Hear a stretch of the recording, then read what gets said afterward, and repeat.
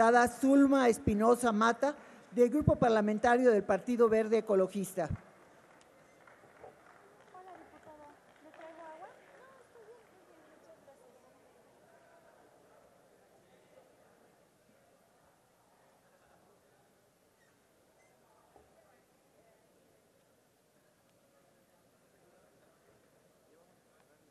Con la venia de la presidencia. Compañeras diputadas y compañeros diputados. Desde hace seis años, derivado de la resolución de la Asamblea General de las Naciones Unidas, aprobada el 19 de diciembre de 2011, el 11 de octubre de cada año se celebra en el mundo el Día Internacional de la Niña.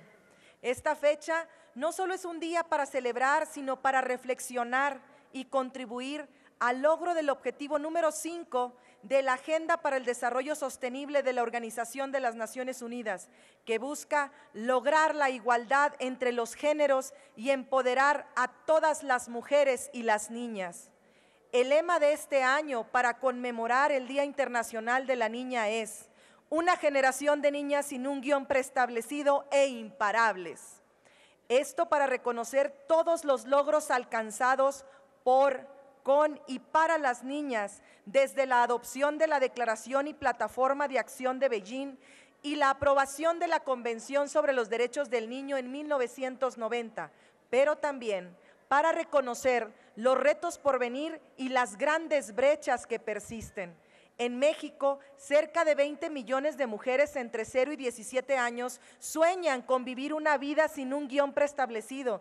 Ya no es aceptable que las niñas tengan que renunciar a sus sueños o que les hagan creer que no tienen posibilidad de alcanzarlos. Sin embargo, en nuestro país los adolescentes de 15 a 17 años contraen matrimonio con personas mayores de edad seis veces más que los varones de la misma edad. Solo durante el año de 2015, de los 35 mil menores de 18 años que se casaron, el 86% eran mujeres. Esta condición les impide a las niñas continuar con sus estudios y las coloca en una situación de sufrir violencia física, económica y psicológica. Está comprobado que por cada año de educación secundaria que cursa una niña hace que su capacidad de obtener ingresos aumente hasta en un 25%.